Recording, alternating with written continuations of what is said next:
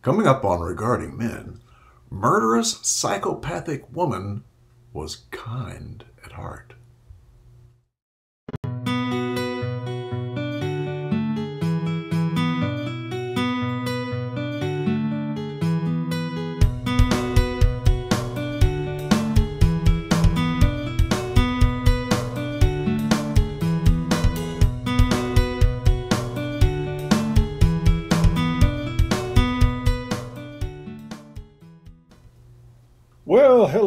And all. I'm Paul Elam of paulelam.com, and this is Regarding Men, where we hold men in high regard and where red pill isolation comes to die. And I am joined, as always, by two of my favorite people on this planet Janice Fiamengo of the Fiamengo Files and Tom Golden of MENAREGOOD.com. Men are good. And we've got a couple of stories today. Uh, start, we've got a rape lie story. Oh, I know you're shocked. That sort of thing never happens, but we have found a rare incidence of it that we're going to address.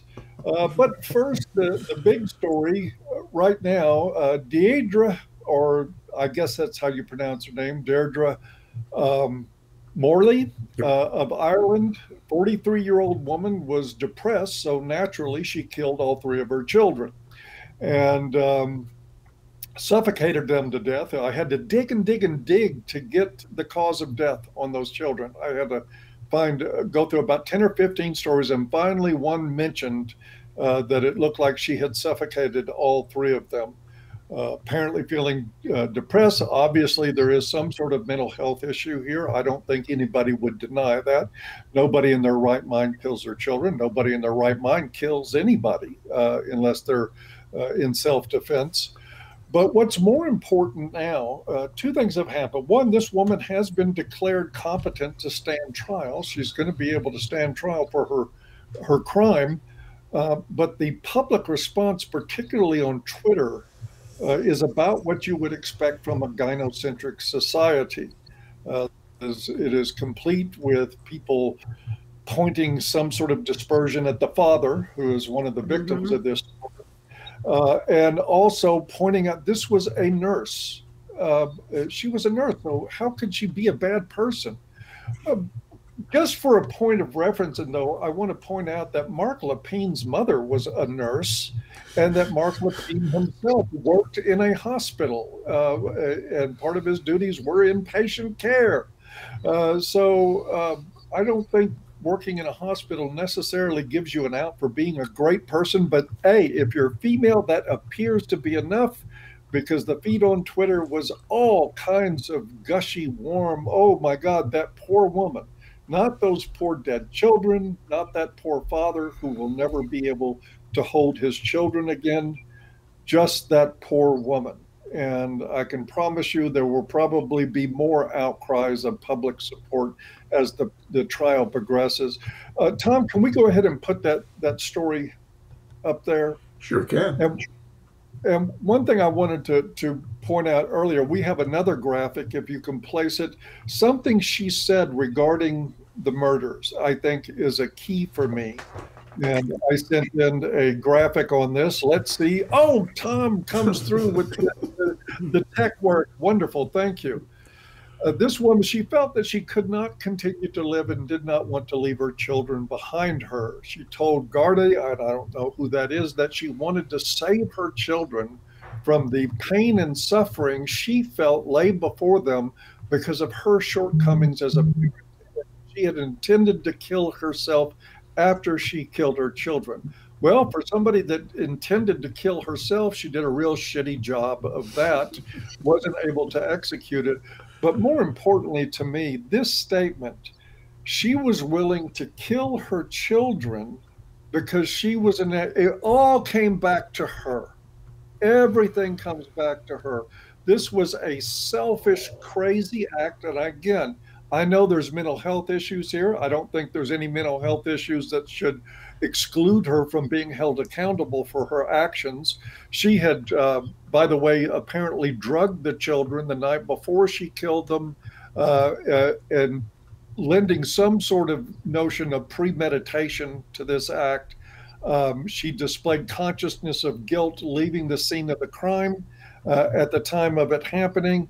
And I noted in all the reports, they, they said that a taxi driver had found her in an distressed state. Every descriptor of the state of mind that she was in was victim language. Mm-hmm. This poor woman, and she was upset. Well, yeah, I guess you would be if you murdered your children.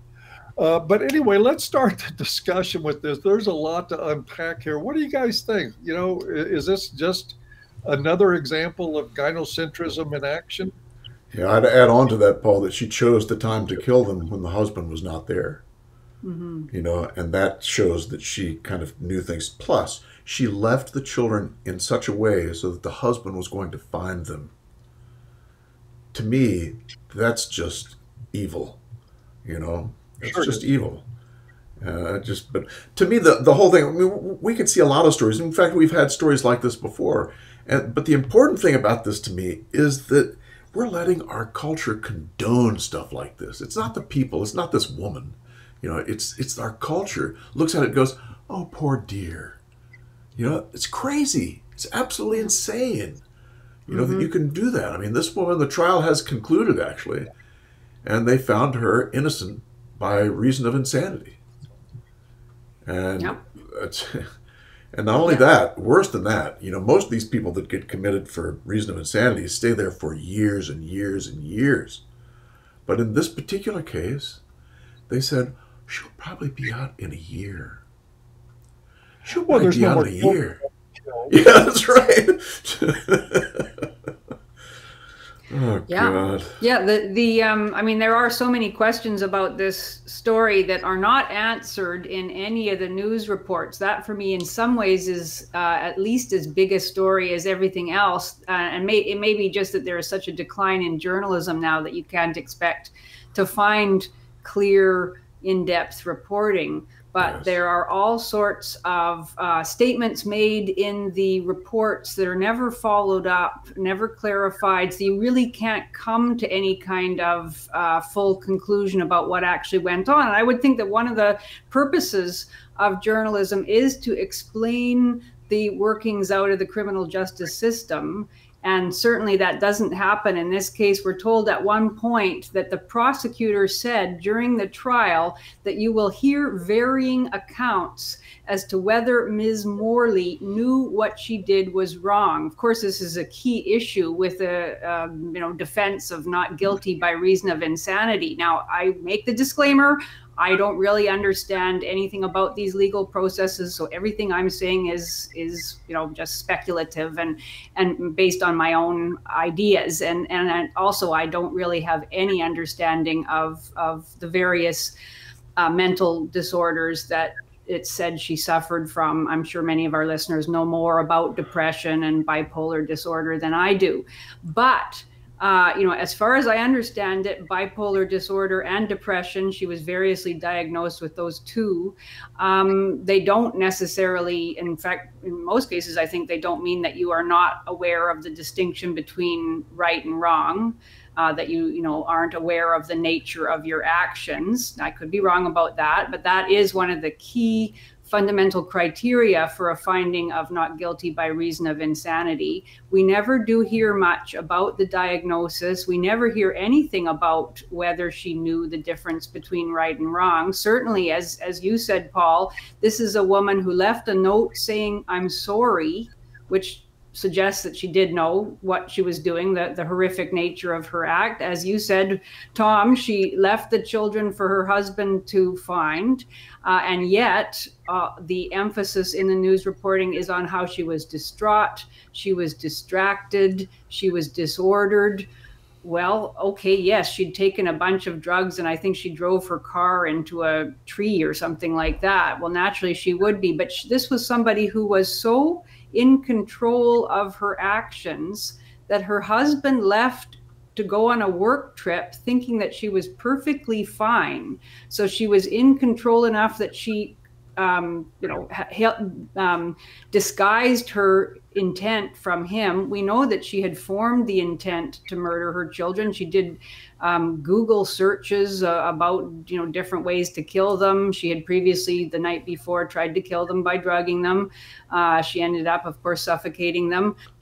I don't see where the insanity comes in. Um, apparently, another factor in um, insanity is that you cannot control your actions. Uh, you know that you can't hold yourself back from doing the thing that that you in, do, uh, and but that doesn't seem to have been the case at all either. So it's um, well, it is certainly striking the depth of compassion that exists out there in the world for women who do terrible things. And it's also, to me, very disturbing that we can't even get a clear discussion of it in newspapers. So I have no idea why the um, medical authorities who tested testified at the trial said that she was insane None of that is made clear. It's not even clear to me that there was any kind of disagreement between the prosecution and the defense in this case. I, I read that the prosecution agreed with the defense that a right. finding of not guilty was appropriate. Why even have a trial if there is not even a disagreement? I, I just I, I found the whole thing utterly confusing. And when you're confronted by such a repugnant incident, and then to have no clear airing of the logic of what happened to that woman. And now she's of course going to be placed in a psychiatric institution and we're told that she may be there really very briefly. It, it just leaves one feeling that well just that our society has completely lost its moorings and that the thing you know that, that horrors that one would expect to be universally condemned are as you said tom instead condoned yeah, if she, if she had been a man, imagine what would have happened. All hell would have broken loose. A very different discussion. Yes, yes. And the thing that's really striking to me is that I've read a lot of articles on this, and very few of them mention even mention the husband. You know, a couple of them said, you know, that he was having difficulties, but I didn't ever see him quoted in any way. Um, there were a couple that talked about him uh, tangentially, but think about that. I mean, no one says anything about the husband. If it had been I reversed, did it, a couple who did quote him as saying some very deep grief, and uh, I think he used the term "every breath is a struggle." He was quoted in a, in a couple of places like that, hmm. but I had the same result, Tom. Looking through all the stories, there was he was an afterthought. Yes, in the story. If this had been reversed, the whole story would have been about the mother. Yes. The whole thing would have been about the of the grieving mother, you know, and this yeah. asshole that did this. Mm-hmm. You know, it's just yeah. so stark. It just ugh. Yeah. I mean, there are part of, part of what's happening with the verdict here is really simple. I mean, the jury is supposed to have to decide, and the prosecution is supposed to prove, and I think it would have been easy to prove in this case premeditation, consciousness of guilt, everything that goes into an insanity plea not working. But at the end of the day, you've got jurors sitting there in the box looking at a mother who's murdered her children and wanting to find any explanation for this other than pure evil. And so when they when they have the option to find that she's not guilty based on insanity, they tend to do it. They did that uh, in a second trial with Andrea Yates in Houston. She yeah. ended up in a psychiatric facility. She did the same thing as Morley here. She waited till the husband was out of the house. She she fled the scene afterward. She had to she drowned all five of her children, forcing them all into bathtubs. One of the children she had to drag by his feet down the hallway as he's kicking and screaming trying to get away all of these involve a multitude of conscious decisions, one after another, yes. that can only mean culpability and yes. guilt. Yes. And and but people just when it comes to women, is they look the other way. Yep. And um, you know, she could have turned this same crazy, insane range on her husband and killed him. She would have probably walked away from that as well. Yeah, she had a moment of psychosis you know, they talk about her getting medication after this incident, after killing the kids. She got this medication the week after, and her response was, "Oh, if only I had this medication before, none of this would have happened." Mm-hmm. Yeah, I know that that and the, uh, the now I'm all better. And so they're yeah, taking that yeah. and twisting it and saying, "Well, then she must be all better. We can let her go within a year." Mm-hmm. Yeah, the, the wow. phrasing of that I found really chilling. That she says, "Oh, if I'd had this wonderful medication earlier, things might have been very different." Yeah. Uh, the, the, the seeming um, complete inability to even I don't know internalize what she's done or care about it really is is quite shocking and and uh, I, I, sent this article actually to a friend of mine who's very interested in these kinds of true crime stories and and looking at what happens when people get away with you know really horrific actions. He didn't feel it was a gendered issue. He thought it had more to do with uh, our society's response to the idea of insanity and, and mental illness. And he sent me back some stories about men who had done similar hor- horrific things and had received uh, not guilty verdicts. And, and there was a case in, in, BC, for example, of a man who was killed on a Greyhound bus about 10 years ago. Uh, he was asleep on the bus. The guy sitting next to him uh, uh, you know, started stabbing him and eventually cut his head off and consumed parts of his face in an absolutely Ooh. horrific crime. Yeah, while everybody else on the bus did nothing, well, raced off. I guess I can't blame them for that. I probably would have raced off myself, but it was just absolutely horrific. And uh, and he received, uh, uh, you know, he was he was considered not guilty and, and went into a psychiatric institution. And although not within a year, but within a fairly short time, he was he was allowed out. Huh. Um, but but I don't look at the circumstances of something like that. And this, and I've seen lots of psychotic people in my time. When they're that crazy, when they're psychotic, it doesn't matter. The the bus could have been filled with police officers, and yeah. it wouldn't have mm-hmm. stopped or they would have stopped what happened, but it wouldn't have stopped that individual from starting the attack. Uh, right. That that example you gave to me is an evidence of insanity in that case. Not so with this woman. I think the guy gave you a bad example. Hmm. Yeah, I mean, and and also I would say, I mean, I agree with you in in the, the case in the Greyhound bus. Obviously, that guy was not aware of his circumstances at all. He was acting upon a voice from God telling him to kill this person, and he had right. his whole bizarre rationale. Whereas this woman planned you know the and uh, you know very clearly planned so that she would be able to to carry it out and was clearly conscious of her circumstances and surroundings and and everything else. And and the other difference of course is that nobody talked about what a wonderful man the killer of the on the Greyhound bus was. Nobody talked about the kindness in his eyes and how he had spent his life helping people, as was the case in the Twitter response we saw. Do you have those, Tom? Just to just to show. I mean, it, it's it's startling the the depth of compassion that some people will feel welling up in them. Looking at this woman's face and claiming to be able to see in her eyes some kind of deep love for humanity, it's it's quite striking. Yeah, the one we have is um, this one here. Remember, the first tweet said something like, um, "I can understand this whole thing, and you know, the real victims are the husband and the children." And then mm-hmm. this tweet comes in, "I'm not so sure about him." Yeah, that's right. Like, yeah. Oh my mm-hmm. gosh. Yeah. Uh, so yeah. So immediately, uh, understanding of what she has done and a suspicion of him and a desire to point the finger at him as somehow responsible. Yeah, yep. that that yep. too is just all automatic. typical. It's automatic.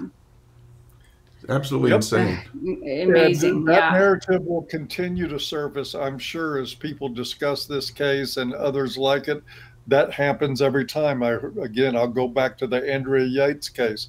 I got a haircut a week after her children were murdered, and my the, the woman cutting my hair said, you know, they say it was the father's fault. Just like that. Mm-hmm. Needless yeah. to say, she did not get a tip that day. Uh, but I mean, that that yeah. is the the attitude. That's the default. Yeah. That's mm-hmm. what it comes yep. down to. Men have agency, women have patiency. Mm-hmm. You know? Yeah. Yeah. Crazy, yeah, and, crazy. and carrying on that thread, should we move on to the the example of the false accuser who got a suspended sentence because it's quite something too. Oh boy, it really is. And mm-hmm. again, it's now it's, this. Go ahead. Oh, I was just going to say this is in BC, so we've moved from Ireland to a uh, small town just outside of Victoria, BC, uh, where a woman who um, maintained a false uh, uh, false story about being raped at knife point, she claimed. So this was not just, uh, you know, I didn't consent. This was supposedly uh, an acquaintance forcing her at night knife point to drive from the parking lot where he jumped into her car back to his home where he then raped her. A pretty serious charge, which uh, was immediately called into doubt by the fact that the police looked at the security cameras in the uh, parking lot and hey, there was no guy there, no guy, no knife, no nothing. Uh, she drove over to his house of her own volition, obviously uh, interested in the young man uh, who was not her boyfriend. And I think that t- tells us a lot about her motivation for the lie.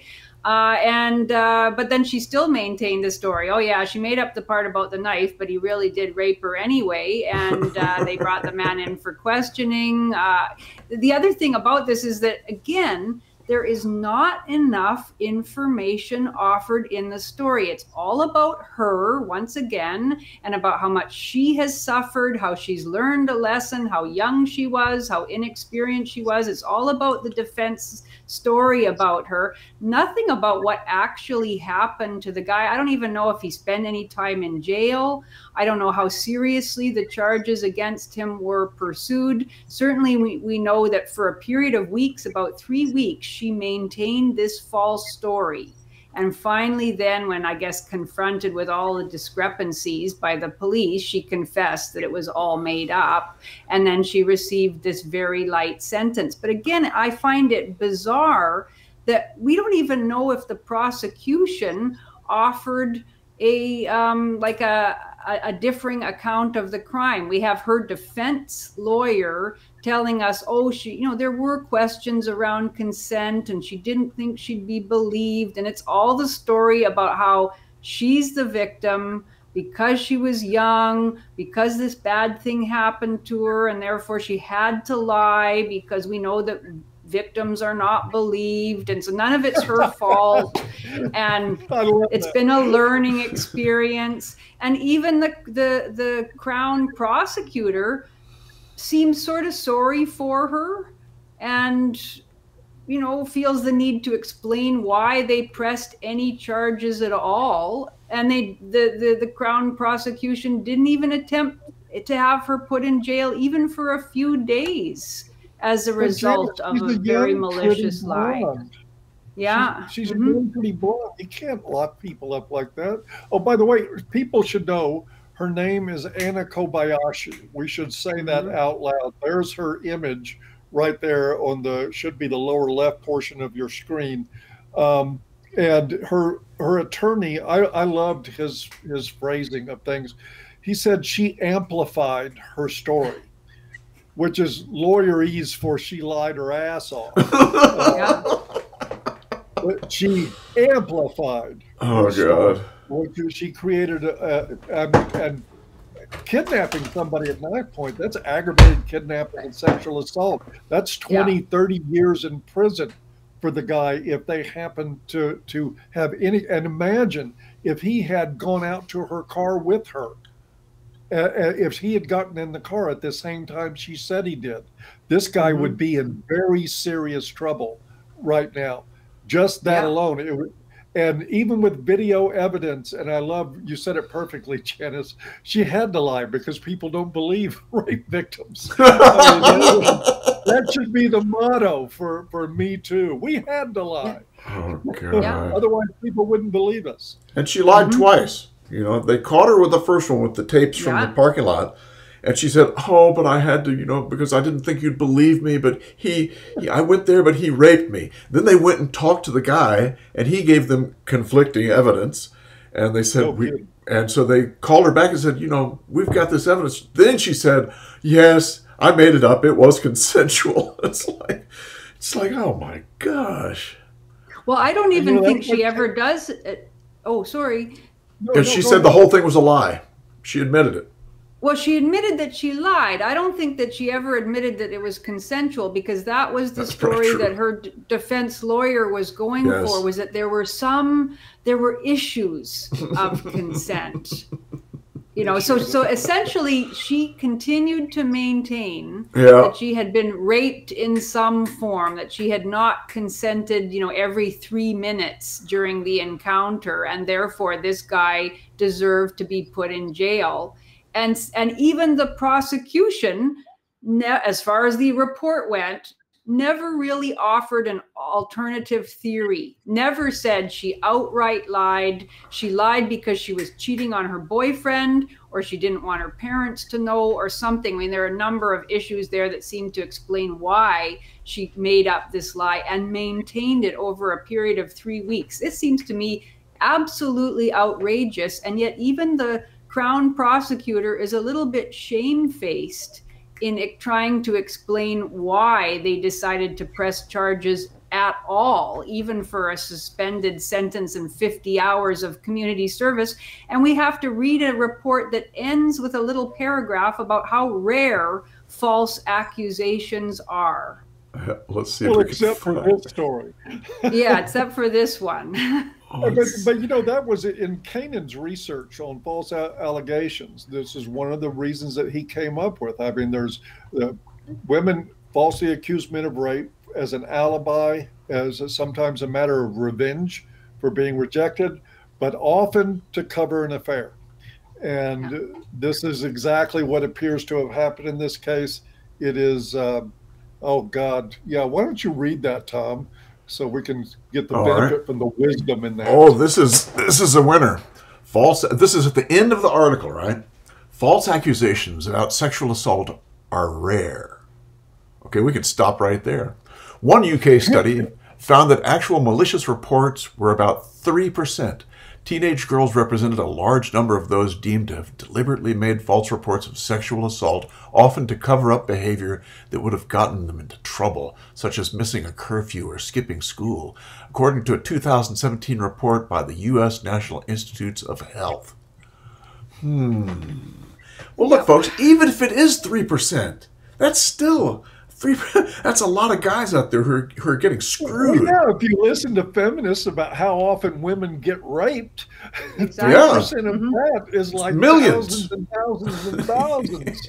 yeah, it is th- thousands and thousands every year. If if you know if one in four women is raped in her lifetime, how many men then are falsely accused? An awful lot so uh, yeah i mean yeah. this is not a small problem and i really do not appreciate at the end of a story in which we never hear anything about the guy we really don't know what happened to him how this impacted him uh, you know what what his what hell he went through during that three weeks while he yep. was being who knows how many times questioned how many times threatened with uh, you know his whole life being turned upside down nothing about that and yet we're, we're lectured to at the end about how we shouldn't take this too seriously because it doesn't happen very often. And when it does it's because the girl was a victim and she was young and inexperienced whatever that means. I'm sure her i'm sure her boyfriend wished she was inexperienced and had decided not to go over and visit another guy and have sex with him and then claimed that he raped her. I mean it, it's really amen. just yeah. That's the truth Crazy, crazy, crazy. I'd like to find out if this clown is still with her, but that's just me. Well, who knows? The well, Facebook and that page. is part of the problem. By the way, folks, that three percent. Personally, I think it's bullshit. Kanin studies put false accusation rates closer to forty percent. Yeah. Um, yeah. And there's a, a, lot of prosecutors and police that will quietly uh, affirm that number but they won't do so do so very much publicly because of the backlash that will the hell that will rain down on them if they tell mm-hmm. the truth about the rate of false accusations of rape. Cancelled. Yeah. Yep. Yeah. Indeed. Yeah, I, I, you know, and problem. like everybody, everyone assumes that um, the, the that three percent must refer to cases where charges are dropped or cases where the man is found not guilty, uh, you know, that, that kind of thing. It doesn't, it only refers to cases where the woman has admitted that right. she lied. There right. are so many other cases where the woman maintains the story and it, it, it can't be proven. And as you said, Paul, the police aren't very interested in most cases in right. pursuing these charges of false allegation. So there are so many other cases where we don't know whether the allegation was false. There may even be cases where the women believed that they were sexually assaulted, but they were not actually. Well, that isn't a false allegation exactly, but it's still a case where an innocent man is railroaded through charges and often is convicted in the end because we place so much faith in the woman's word. So yeah, to to to, to I, I just find it infuriating to be lectured at the end of an article about an egregious lie told by a woman uh, to be t- lectured to that we're not to take this very seriously because it's so rare. Yep. It's it's uh, it's amazing, and even in again, you know, in the course of the article as you read it, it's all about the woman. Like the defense counsel will will never talk about her crime, even though she admitted lying. It just says that she made a mistake, and she's well aware that she made a mistake. And her life has already been impacted by this mistake that she made. And we want her to have just the 50 hours of community service because she wants to be able to start with a fresh a fresh start. She's going to pursue a nursing career. That's an interesting theme that oh, connects this with the previous story this, this, woman's going to be a nurse as well. It reminds me of a tweet that uh, milo yiannopoulos made a, a while ago that i retweeted and boy did i ever get a lot of hostile reaction. He tweeted, you know, in order deliberately to provoke, he said that, you know, all the praise of nurses during COVID 19 he felt was misplaced because many nurses are control freaks who are only in the profession because they want power over others and they're really very horrific people. Now, I'm not saying that that's true about nurses in general, although I'm sure there are many very good nurses. Yes, Tom will affirm this. if you visit any psychiatric ward in any hospital, you will find control freak nurses in charge there, and they can be some of the most vicious, destructive forces in the lives of their patients. Uh, and I've seen it a hundred times over. Well, I've certainly had some extremely unpleasant experiences with nurses in regard to my mother's uh, hospital care. Now I know that uh, Tom, your your uh, your partner is a is a nurse, and I'm sure she's a very good one. I'm sure there are many good ones, but I think that Milo had his finger on something, and the viciousness of the response that I received when I retweeted it, uh, including by some very foul-mouthed nurses, seemed to affirm that. But yes. Uh, anyway, uh, that's that's neither here nor there in a way. The hospitals it, I've worked in link. would agree with Paul. I mean, the, the the psych hospitals I've worked in, the nurses have been difficult. Let's leave it like that. One of the things that happens regularly in psych- psychiatric environments is that what the people working there allegedly attempt to do is to keep things peaceful above all else. You you you try to monitor things for friction points and try to keep patients who have mental health issues from escalating into violence or doing self-destructive things. And you can see nurses in those units across the United States provoking those patients, instigating problems with them, and then ordering the psych techs, the muscle on the unit exactly. Unit, to restrain them so they can force medications on them. I saw that happen over and over and over and over again. It's so, awful. Nurse so did Ratched, I. Yeah. I saw the same thing. In fact, I got into big trouble in one of the hospitals I worked in because I refused. I said, no, I'm not doing that. You can forget about it. And they tried to fire me for uh, a year. And in fact, at that point, this was in the 70s, the uh, ACLU took my case. And uh, the hospital mm, backed wow. down after a year. But mm. I mean, yeah, that's exactly the kind of thing that goes on over and over again. You know, this the nurses get into these power struggles with the usually it's the the male patients, and then they call in the guys to you go do this, you take care of this. You know, it's like what? because the guys would have done things very differently with the with the fellow. You know, I mean, we usually had a good relationship with him. You know, good enough, and uh, we knew how to calm him down. You know, if we needed to. Anyway, that's neither. Yeah, well, I, I mean, I really. Nurse, when a charge nurse decides they want a patient in a seclusion room, they're going to end up there whether they need to be or not. Right. Exactly. Yeah, and I was shocked at the contempt with which nurses treated especially male patients um, mm-hmm. because my mom was on a number of wards where her person in the bed next to her was male and i noticed a, i mean i didn't think the, the nurses were very kind to my mother either I, they they often were very impatient and um, condescending towards her as an elderly person i don't, I don't think they have a lot of interest in the elderly um, but it, particularly I, I saw them laughing at uh, the male patient. I thought they treated him with disregard and indifference for his humanity. It, it was really shocking to see. Yes, yes. Anyway, but yeah, that's, that's maybe another, yeah, maybe another discussion. Well, it's the same stuff, though. It's the exact same stuff. You know, the culture holds men as having agency and does not think about giving them compassion or empathy. You know, it's just a, it's the bottom line. And, and it's really ironic that in, environments like that, that's exactly right, Tom. The male patients will be held to account a hundred times more than female staff members who are allegedly healthy. The old joke from psychiatric units is what's the difference between the patients and the staff in a psych hospital? Well, eventually the patients get better and go home. Um, yeah. yeah, there you go depressing environment. It really is. Yeah. Well, and it was certainly, I mean, I found it flabbergasting to see in this story about the false accuser, uh, everybody sort of agreeing that her attempt to put an innocent man in jail should be just quickly got past.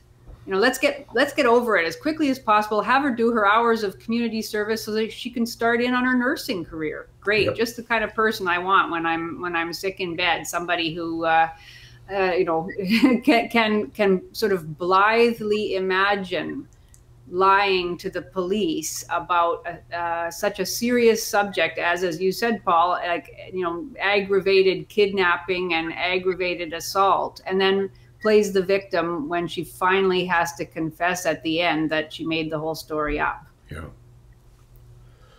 Ah, but that's another day in a blue pill world. Yeah. Thank mm-hmm. red pills. Yep. Indeed. So I guess, well, that brings our not very cheery discussion to an end, I think. And uh, but we will end on an up note by saying that men are. Good. How about yeah, that? That's, that's a three in a row? No, we're Come on a roll for sure. It sucks. Link below. Come join us. The groups are fantastic. Matter of fact, we're having a community meeting tonight. Should be fun. Um, for all of our members, and uh, we will see you guys next time. All righty. You all, all right. take care. Have a great week. We'll see you. Bye bye.